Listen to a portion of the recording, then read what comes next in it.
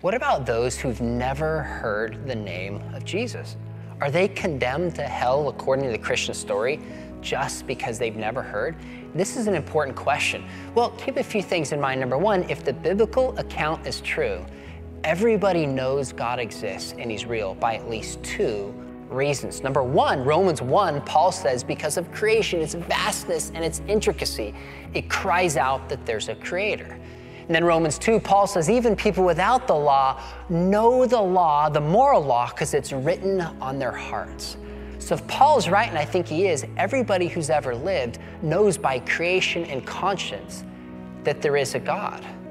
So what I think this means is if somebody responds to the general revelation that they have, and they believe that God exists, I really believe that God would find a way to get to them the specific knowledge of salvation a dream, a vision, a missionary, the internet. I really don't believe there'll be anybody who will stand before God and say, if I just had more information, I would believe.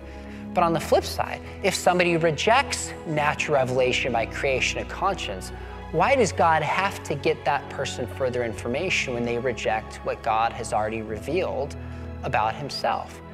Now, I'll fully admit when it comes to those who've never heard, we have to do our best guess. We have to speculate.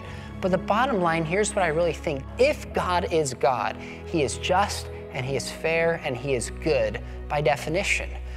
God will judge fairly in the end. But if you're watching this video, guess what? You're not one of those who's never heard. You have heard. You do know. You have the evidence and the gospel claim open to you. The question is not how will God answer those who have never heard. God is God. He will deal justly with that. The question is, what will you do with the information now that you have heard Jesus' claims about being God and his claims about salvation?